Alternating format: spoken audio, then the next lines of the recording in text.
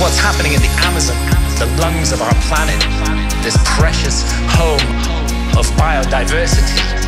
The old growth rainforest being cut down and replaced with soybean farms so we can feed cattle so that we can all eat hamburgers.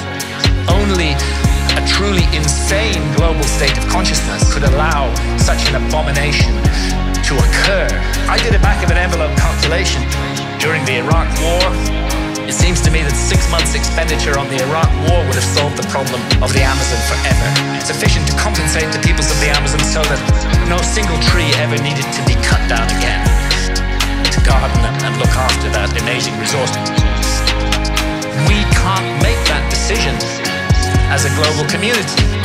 We can spend countless billions on warfare, on hatred, on fear, on suspicion, on division, but we can't get together the collective effort to save the lungs of our planet.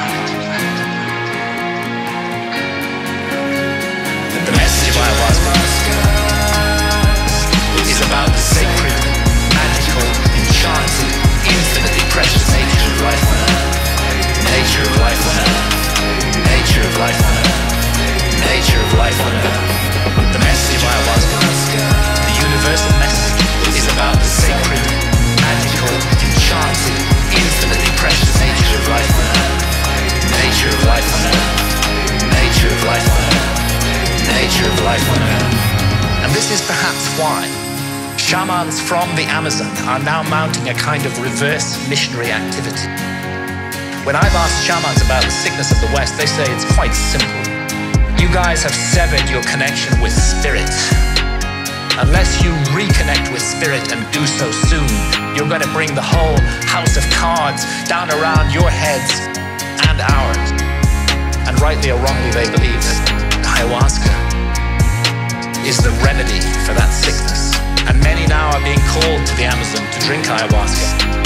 And ayahuasca shamans are traveling throughout the West, offering the brew, often under the radar, often at personal risk, to bring about consciousness change. And it's true that the message of ayahuasca is about the sacred,